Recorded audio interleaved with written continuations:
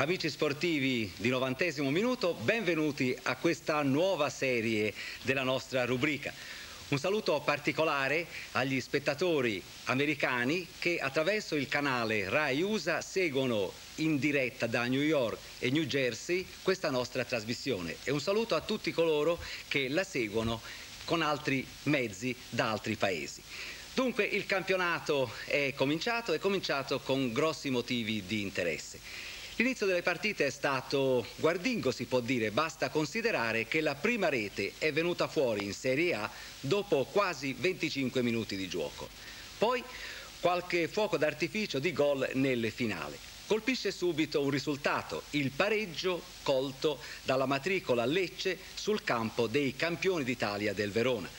Poi altri risultati interessanti, la nuova Fiorentina che prevale di slancio sulla quotatissima Sampdoria L'Inter, subito un gol dal Pisa nel primo tempo, si è rovesciata all'assalto della ripresa segnando tre reti, una doppietta di Rumenig. Vince la Roma a Bergamo e il Milan a Bari e sono risultati significativi. La Juventus regola di stretta misura l'Avellino, il Napoli fa suoi i due punti sul Como pari fra Udinese e Torino. Evidentemente hanno avuto la meglio le difese e c'è stata anche qualche occasione mancata. Un brevissimo commento a caldo, le partite sono terminate circa mezz'ora fa, si può subito fare. Hanno prevalso le squadre più quotate senza tener conto del fattore campo in molti casi che, ora ha un valore molto relativo. Le sfavorite dal pronostico però si sono in complesso ben comportate, anche quelle che hanno subito la sconfitta, cercando una certa logica di gioco, diciamo così, senza gettarsi allo sbaraglio come era successo altre volte nelle prime giornate di campionato. Evidentemente si fa subito attenzione al punto che si cerca di ottenere magari con un pareggio, anche se non ci si riesce. Eccezione alla regola del più forti che prevalgono è stato, come detto, il pari subito dai campioni d'Italia del Verona da parte di un intraprendente Lecce sul terreno proprio di Verona. Qualcuno potrebbe anche mettere in bilancio la sconfitta della Sampdoria a Firenze, ma i Viola nuovo corso possono a buon diritto essere considerate fra le squadre alla pari con le migliori di tutto il campionato. E vediamo insieme la schedina. A Bergamo Roma batte Atalanta 2 a 1 2. A Bari Milan batte Bari 1-0, 2. Fiorentina batte Sampdoria 1-0, 1. Internazionale batte Pisa 3-1, 1. Juventus batte Avellino 1-0, 1. Napoli batte Como 2-1, 1. Udinese e Torino 0-0, X. Verona e Lecce 2-2, X. In Serie B in schedina Cagliari batte Cremonese 1-0, 1. Gol di De Rosa su rigore. Catania batte Brescia 2 a 1, 1 hanno segnato Pellegrini, Gentilini e poi non c'è pervenuto il nome del marcatore della vittoria del Catania. Cesena batte Ascoli 1 a 0, 1 Agostini il realizzatore. Lazio batte Palermo 2 a 1, 1 gol di Podavini, Guerini e Fiorini. Pescara batte Bologna 2 a 1, 1 hanno segnato per il Pescara Ronzani e Roselli. Non è pervenuto il nome del marcatore del gol bolognese. Altre di B, Genoa batte Campobasso 2-0, reti di Tacchi e Mileti. A Monza vittoria del Vicenza, Vicenza batte Monza 1-0, ha realizzato Lucchetti, Perugia e Catanzaro 2-2, Cozzella, Gregori, Pagliari, Piermarini, i goleador. San Benedettese d'Empoli 1-1, per l'Empoli ha segnato Zennaro, non abbiamo il nome del giocatore che ha pareggiato nel secondo tempo nel finale per la San Benedettese. Triestina batte Arezzo 2-1, hanno realizzato Cinello sul rigore, Ugolotti e Cerone. E adesso le classifiche per quanto riguarda la Serie A, a punteggio pieno ovviamente dopo una giornata, quindi due, Internazionale, Fiorentina, Juventus, Napoli, Milan e Roma. Poi le squadre che hanno pareggiato, Lecce, Torino, Udinese e Verona, un punto. E poi quelle che hanno perso, Atalanta, Bari, Avellino, Como, Pisa e Sampdoria, zero punti. Ora la classifica della B. Cagliari, Catania, Cesena, Lazio, Pescara, Genoa, Vicenza e Triestina sono subito messe in luce con due punti. Perugia e Catanzaro, partita molto combattuta fra due favorite del torneo, terminata in parità, quindi Perugia 1, Catanzaro 1 uno la San Benedettese ed uno l'Empoli, poi le squadre che hanno perso, la Cremonese, il Brescia, l'Ascoli, il Palermo, il Bologna, Campobasso, Monza ed Arezzo, vedete zero punti. Adesso cominciamo la serie dei collegamenti proprio col pareggio fra Verona e Lecce per 2 a 2 a te Ferruccio Gard. Dunque, quattro reti, tre pali e alcuni gol sbagliati per poco stanno a dire che è stata veramente una bella partita. Meno bella è stata invece la partenza dei campioni d'Italia, mentre addirittura clamoroso è stato l'esordio del Lecce, una squadra simpatica che gioca per la prima volta in Serie A. Il Verona ha dimostrato oggi di essere a tratti sciupone, a tratti un po' distratto e ha denunciato delle sfasature abbastanza insolite per questa squadra. Per il Bagnoli dovrà ancora lavorare parecchio sui nuovi arrivati. Mentre il Lecce ha dimostrato di essere una compagine dinamica, scattante, una vera sorpresa che darà parecchie soddisfazioni ai suoi tifosi. Vi proponiamo adesso i gol e alcune azioni, prego la regia di mandare in onda le immagini. La partenza è stata del Lecce, ma a segnare per primo è stato il Verona al 24esimo con Elchier che conclude un'azione sviluppata da Galderisi, Volpati e Verza. Ecco il bellissimo gol del danese. Il Lecce reagisce e al 38esimo Giuliani deve uscire alla disperata sui piedi di Alberto Di Chiara. 42esimo giallo-blu vicini al gol con un pallonetto di Verza che rimbalza sulla traversa. Ripresa il Lecce pareggia al nono con un bel colpo di testa di Alberto Di Chiara, è stato ottimo Di Chiara assieme al vecchio Causio. Ecco la rete. Campione d'Italia nuovamente in vantaggio al diciottesimo, punizione di Ferroni per Di Gennaro, 2-1, tiro imparabile. Il Lecce pareggia nuovamente al ventisettesimo, azione cominciata da Di Chiara, sempre lui, e palla infine a Barbas che batte Giuliani. 2 a 2. Al 33esimo eh, clamoroso palo dei giallorossi con Di Chiara, ancora lui, poi al fine Giuliani riesce a parare, la partita finisce sul 2-2. Linea a Paolo Valenti. Giro subito il collegamento a Gianni Vasino per il successo della Roma a Bergamo. A te Vasino. È stata l'esperienza e la bravura di Boniek a dare i due punti alla Roma sul campo dell'Atalanta, un'Atalanta che ha giocato molto ma non è mai riuscita a concludere anche perché in area romanista hanno fatto buona guardia di volta in volta i terzini i mediani e lo stesso Boniek o Pruzzo di volta in volta. È stata una partita bella e piacevole, certo gli atalantini ci sono rimasti male, ma vediamo insieme le azioni. Qui è Stromberg che ben lanciato da Soldà manca di poco il bersaglio e in contropiede va a segno per la prima volta la Roma. È addirittura geniale Boniek, lo vedete, ad alzare il pallonetto per la testa di Pruzzo. È l'1-0. Reagisce immediatamente l'Atalanta, ma il tiro di Stromberg questa volta finisce sul palo e non basta. Nella ripresa ancora in avanti l'Atalanta con Cantarutti che impegna Tancredi in questo bel balzo all'indietro. Poco dopo è Magrin, il numero 9 dell'Atalanta, a tirare, ma Tancredi fa buona guardia. Finalmente l'Atalanta riesce ad andare in rete con Simonini che è entrato da poco, ma per l'arbitro è fuori gioco e il gol viene annullato. Mentre i bergamaschi guardano, sull'altro fronte Boniek serve Nela che spara a colpo sicuro e il 2-0. Al quarantesimo Magrin gran botta, palla sotto la traversa, per noi sulla linea di porta, per l'arbitro dentro ed è il 2-1 con il quale si conclude l'incontro. A te Paolo Valenti. Il Milan è passato di misura a Bari per 1-0. Vediamo se è pronto Franco Strippoli da Bari. Il solito Milan Sornione che ha impresso alla gara cadenze sincopate che nell'unica manovra di una certa consistenza confezionata nell'arco dei 90 minuti ha punito il Bari. Una punizione sin troppo severa per il Bari al suo esordio in Serie A, un esordio amaro perché nel primo tempo il Bari ha evidenziato saggezza tattica e nella ripresa grande autorità, ma proprio mentre stava producendo il massimo sforzo il Milan è andato in gol. Vediamo i momenti significativi di questo incontro scontro. Nel primo tempo ottima la manovra a centrocampo del Bari che è partito di slancio. Sulla destra Terracenere, uno dei sette esordienti della squadra pugliese. Al centro libera eh, Paolo Maldini. Si fa notare il Milan con Wilkins che approfitta di un errore di Cavasin, pallonetto di Wilkins che termina oltre la traversa. E ancora il Milan in avanti, questa volta è Virdis a farsi notare, il suo diagonale termina fuori da Franco Baresi in avanti per Etli che fa da torre per Virdis che però non riesce ad approfittare di questa incertezza del dispositivo del Bari. Nella ripresa il Bari parte in avanti, Piracini impegna Terraneo, poi è Bergossi ed è ancora il Bari che ha una grossissima opportunità. Cross di Bergossi, Piracini però è poco coordinato e c'è Paolo Maldini che riesce a liberare. Poi bel numero di Virdis, pallonetto e tiro a volo, vola Pellicano e para. Quindi il gol del Milan fa velo a Athley, Wilkins per Icardi che batte Pellicano. Siamo ad 11 minuti dalla conclusione. Il Bari ha una grossa opportunità a pochi secondi dal termine, ma sul cross di Sclosa, Rideout manda oltre la traversa. Su Bari Milan è tutto, linea Paolo Valenti. Ora vediamo come sono andate le cose a Firenze. Fiorentina batte Sampdoria 1-0. A te Marcello Giannini.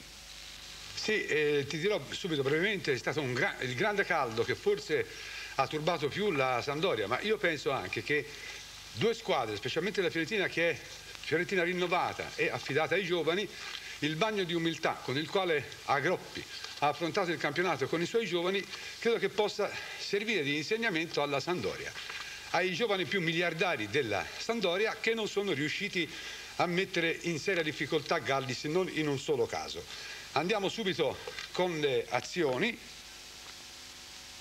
vediamole. Ecco appunto la Sandoria nei primi 20 minuti, la Fiorentina sembrava soggiogata, Galli la gran parata sul tiro di testa di Vialli, l'abbiamo visto. C'è ancora un c'è Maldera che esce ed, è, ed, entra ed è il debuttante, uno dei debuttanti onorati, gli altri si possono dire Berti, Lorenzo e Gelsi, i debuttanti. Lorenzo è debuttante per le file della Sandoria. Ecco ancora la, la Fiorentina che preme nell'ultimo quarto d'ora del primo tempo, dopo aver diciamo così, imbrigliato la manovra della Sandoria e guardate come Pari si salva alla fine di questa confusissima azione. Sarebbe stato autorete ma eh, Pari l'ha salvata. Siamo al secondo sempre nella finale del tempo, c'è questa richiesta di rigore da parte della Fiorentina, un fallo da rigore eh, che, sul quale Casarin evidentemente ha sorvolato, lui era in campo, noi eravamo dall'alto, non possiamo esprimere giudizi.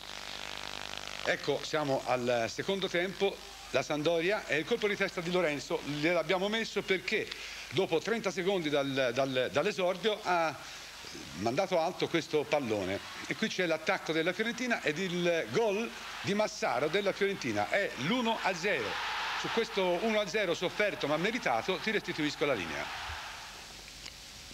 Vediamo adesso all'internazionale. Internazionale batte Pisa 3 a 1 Marco Lucchini un esordio obiettivamente difficile per il Pisa neopromosso, almeno sotto il profilo psicologico, poiché l'Inter, secondo di più quest'anno, lo scudetto può solo perderlo. A dire la verità, però, i toscani hanno messo la frusta in nero-azzurri, soprattutto nel primo tempo, chiudendo addirittura in vantaggio. I pisani hanno corso molto, anticipando sistematicamente i ragazzi di Castagnere. Solo dalla quarta d'ora della ripresa, dopo il gol del pareggio, l'Inter ha controllato la situazione. Il Pisa si presenta subito al terzo minuto con Mariani, lanciato da Berggren. Zenga para a terra, al decimo minuto su calcio d'angolo di Fan, Altobelli di testa incoccia il montante. Ma è sempre il Pisa il più attivo e al ventitresimo su un pallone spiovente interviene di testa Berggren. Zeng non controlla e Kift è in ritardo. A un minuto dal riposo passa il Pisa con Armenise su cross di Baldieri, gol contestato per un sospetto fallo di mano dello stesso Armenise. Secondo tempo, L'Inter si riprende e al decimo una punizione di Fan propizia il gol del pareggio di Bergomi, 1 a 1. Al ventottesimo il raddoppio su cross di Bredi, Altobelli di testa serve Romenig solo davanti alla porta vuota. E infine, due minuti dopo, il gol più bello della partita porta la firma di Rumenig assistito da Marangoni. 3 a 1 il risultato finale, tutto a te Paolo Valenti. Passiamo adesso a Torino, Juventus Avellino 1 a 0. Cesare Castellotti. A Torino una classica partita da inizio stagione con Juventus e Avellino già a buon punto di preparazione sia pure con qualche schema ancora da registrare. La Juventus è piaciuta di più nella ripresa quando Trapattoni ha sostituito Ping e Mauro con Bonini e Pacione qui al quarto d'ora Platini, poi c'è l'intervento di Amodio, Laudrup e Di Leo che manda in angolo. Alla mezz'ora in azione Agostinelli per eh, Diaz, il suo tiro va fuori di poco. 42esimo ancora in azione Agostinelli, Diaz, poi l'intervento di Scirea il tiro di Bertoni fuori. Juventus qui in azione al 45esimo, Platini lancia Laudrup, avanza Laudrup, il suo tiro viene ribattuto da Di Leo. Passiamo al secondo tempo, all'ottavo si sblocca il risultato con il gol della Juventus. Qui eh, Cabrini che lancia Serena, bellissimo il suo stacco di testa e il gol per la Juventus 1 a 0. 24esimo, Mauro dà il via a questa azione che Platini prosegue lanciando Pacione, ma Pacione sbaglia di poco. Al trentesimo, sempre della ripresa, un'azione dell'Avellino interessante da Ferroni a Diaz e la ribattuta di Tacconi. Ho concluso da Torino. Passiamo adesso al successo del Napoli sul Como per 2 a 1 a te Luigi Necco. Eh sì, il Napoli si è seduta tra le grandi, ma nel secondo tempo aveva applicato il verbo alla lettera. Comunque per l'allenatore Bianchi incontrare il suo ex Como, il suo ex eh, Como, non era un problema solo sentimentale ma anche pratico. Maradona non è al meglio, qualche altro uomo importante non è in forma e gli manca ancora qualcuno in difesa. Per il Como, questione di sfortuna. Avete visto che i tifosi del Napoli credono nella tranquillità, l'hanno detto con uno striscione. E siamo al quattordicesimo, il primo tentativo del Napoli che ci prova con Bagni, con Giordano. Scusatemi, era il primo minuto. Al quattordicesimo invece altra azione del Napoli che evidentemente intende mettere alla prova tutte le sue possibilità. Prova Bagni, ribattuta e poi tocca a Pecci farsi parare, anzi respingere la palla da Paradisi. Il Como non demorde, si dice così. Borgonovo va all'attacco, vedete come, vedete Marino come è costretto a fermarlo. Sulla punizione Dirseo, e il bel Dirseo applaudito a Napoli, passa dal Biero che quasi inganna Garella. Il Napoli torna all'attacco, siamo al ventinovesimo con questa bella discesa di Renica, ex Sampdoriano, che inganna tutti, impegna il portiere Paradisi, le sue mani non servono, Giordano è ancora la sua stagione, segna 1-0. E, e, poi, e poi ancora il Napoli, Maradona, punizione per un fallo su Maradona, avete visto come Bertoni ha realizzato. 2-0 per il Napoli. Siamo al secondo tempo e il Napoli insiste in questo scambio Maradona-Celestini, Bertoni però non profitta di questa palla, viene anticipato, occasione perduta. Punizione di Dirseu, testa di Marino, autorete. È tutto per un Como sfortunato e per un Napoli che si ritrova. Bisogna dire che Maradona ha ricevuto il, il Guerino d'Oro per il miglior giocatore straniero. Ci conta per l'anno prossimo, questa partita non tanto. Bene Necco, e adesso passiamo al pareggio a reti inviolate 0-0 fra Udinese e Torino. Maurizio Caligaris. Non tragga in inganno zero, il risultato a reti inviolate, molte occasioni, calcio giocato, è una partita che si racconta soprattutto con le immagini, le vediamo Eccole, il eh, Torino ha giocato, gioca quest'anno a memoria, l'Udinese è sempre la bella Udinese di Coppa Italia. Per Bearzot che era in tribuna pensiamo buone indicazioni da parte dei giovani, questo è un tiro di, di De Agostini. Qui Martina esce sulle, sul piedi di Carnevale. Insomma un primo tempo, eh, un primo tempo per l'Udinese si effettua questa bellissima azione di Dossena con Brini in angolo mentre secondo tempo vedrà il Torino sugli scudi. Qui ancora l'Udinese nella prima parte della gara, un tiro di Colombo deviato che passa alto e poi lo stesso Colombo dopo questo calcio d'angolo, vedete, tira in mezza rovesciata e la palla quasi va nel sacco. Secondo tempo Junior in cattedra, ecco un suo tiro, questa è una sua punizione deviata dalla barriera che finisce sul palo. Poi è Schachner a mettersi più volte in luce, un suo spunto è preda di Brini, poi il centroavanti spreca eh, due occasioni, eccone una, il cross e Schachner eh, non riesce nella deviazione, ancora Di Agostini, oggi è stato bravissimo, un suo tiro viene deviato da Martina. E quindi c'è ancora un'azione del Torino, vedrete come si snoda, bellissima, in un secondo tempo che ha visto anche qualche giusto fischio del pubblico nei confronti dell'arbitro, ma seguiamo quest'ultima azione, Granata e Schachner manda alto. Ho concluso. Montepremi del Totocalcio, buono tenuto conto la ripresa del campionato, è 10 miliardi 178 milioni 133 mila 654 lire. Non abbiamo le quote proprio segnate con cifre perché essendo cominciate le partite alle 16 gli amici del Totocalcio hanno detto che ci vorrà ancora una ventina di minuti prima di avere i numeri proprio. Comunque le quote secondo i loro calcoli, le prime impressioni dovrebbero essere medio-basse perché ha fatto 13 e 12, medio-basse. Comunque le cifre le daremo nel corso del telegiornale delle 20 ovviamente. Eh, concludiamo con una nota non molto lieta per quanto riguarda l'automobilismo, molti di voi lo sapranno già. È andata male per le Ferrari, per Alboreto, il Gran Premio a Monza della Formula 1 ha vinto proprio Prost, secondo Piquet, terzo Senna, poi Sürer, Johansson con la Ferrari è quinto e sesto è De Angelis. Alboreto che era in ottava posizione a sei giri dal termine ha dovuto fermarsi per noia al motore. Nella classifica mondiale Prost consolida il suo primato, ha ora 65 punti contro i 53 di Alboreto e i 31 di De Angelis. Bene, abbiamo concluso questa prima edizione della nuova annata di novantesimo minuto. Come sempre, appuntamento a domenica prossima. Arrivederci e a risentirci.